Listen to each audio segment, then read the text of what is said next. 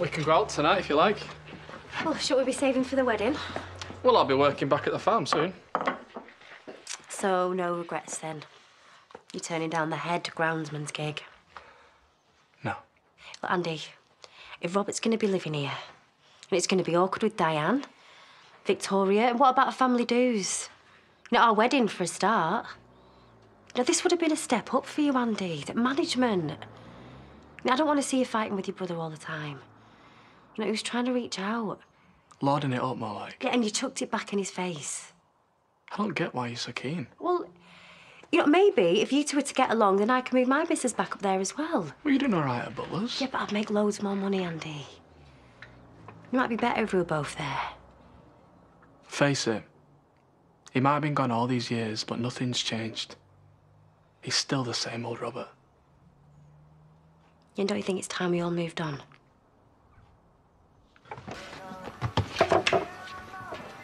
Are you delusional or just plain daft? It's not that mad. I virtually ran the place. And how did that work out for the last guy? Hey, his mental health issues had nothing to do with me. Uh, coffee, please, Bob, and whatever my potential new boss wants. I don't like you, Nicola. Congratulations, Robert. I heard that accepted your offer. Yep. The estate agent's just been showing us all the properties we'll own in the village. Ah. Oh, Panini, won't be a tick. You offered Andy a job and you hate him. Yes, and you've made such a great impression, accusing Chrissie of theft.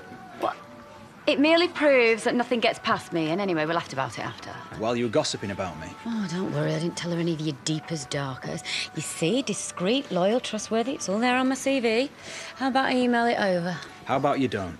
Oh, get over it, Robert. So I popped your cherry. Geez, someone had to. I'm hardly going to tell your fiance, am I? I'm sure Robert would tell her himself. Can't imagine they have any secrets. Leftovers. They're fine, but Marlon's back today, so we'll do his usual fridge inspection. Oh, thanks, Vic. I'll put the kettle on. No, I can't stop. I just... I wanted to make sure you're okay after your run-in with Robert. Which one? Well, at least I didn't hit him last night. And that's progress. Um, does Katie know you spend all day looking at swimwear models? He's stupid. It's an holiday site. Oh, for honeymoon. Yeah, well, I was thinking of it. It's not going to be the Maldives, though. That where Declan took her. Mm, but look how that turned out. And anyway, it's probably best you keep your compo money. At least till you're working. So you've been comparing notes with Katie. You reckon I should have taken this job and all? No fair. I'm happy Robert's back, and I'd love the two of yous to get on, but we both know he's only making a point to Lawrence. Like he was the bigger man. And he knew you'd tell him to shove his job. Hey, how about Robert Sugden being back and in style, eh? Yeah. If it was me or you, we'd be called gold diggers, but so far it's only our old man who thinks the same. Well, and Andy, because he hit him, right? Yeah? Anyway, you were talking about Jimmy.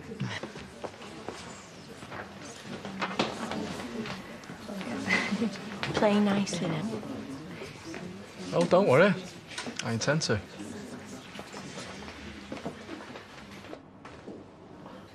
Maybe I should give that delightfully pushy little terrier the PA position. Marlon, Hey! have you just got married? Yep, yep, that's my lovely bride sat over there. Nicola? No! I mean, no. No, I beg the other one, Laurel. Sorry, Marlon Dingle. Andy tells me you snapped up on farm. Yes, so now, just the joy of packing. Oh. So when you move in then? What's it to you? Gonna turn up the housewarming present? Look, Robert, that shouldn't have kicked off yesterday. Vic made me see he was only trying to be the bigger man. Cool. No hard feelings on my side? Then thanks for the offer as well. I'd like to accept it. I'm gonna need a hefty salary and flexi time, but that's if the offer still stands. Sure. Oh, welcome aboard, Andy. Uh, are you sure about this? You told him to stuff that job, and with good reason. Don't worry, Vic, I can handle it. And anyway, it's only temporary. Once I've had my fun, I'll be back at the farm. And she never. Katie, what's the point in coming out if you've got a face on you? We could have stayed at home to row. Another pint and a white wine, please, Alicia. Yeah. Look, I told you.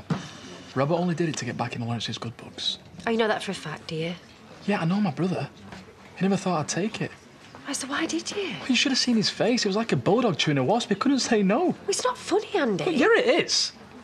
I don't want it to be like it was before. I want you to build bridges, not blow them up.